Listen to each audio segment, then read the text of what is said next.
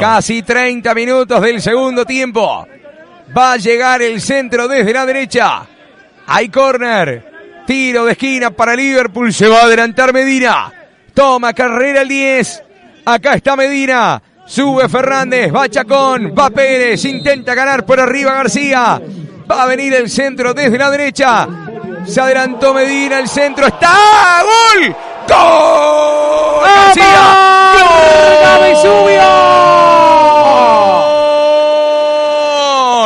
¡Gol! ¡Gol de Liverpool! Lo hizo García ganando en el área rival. El centro desde la derecha. Los centímetros de García se impusieron ante los defensas rivales para marcar el primero de la tarde. No lo encontraba por ningún lado. Liverpool en las alturas lo encuentra García.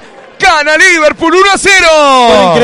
En un partido que estaba complicado para el Negriazul, más más allá del intento de arriesgar, de querer llegar, pero no le salía nada al equipo local. Y en una pelota quieta, en una jugada donde se desmarca muy bien García, ganó, saltó con mucha comodidad, conectó su parietal izquierdo, la pelota le pica antes a Cardoso, golazo del Negri Azul que se pone en ventaja. Golazo de Cololo. Sport 890.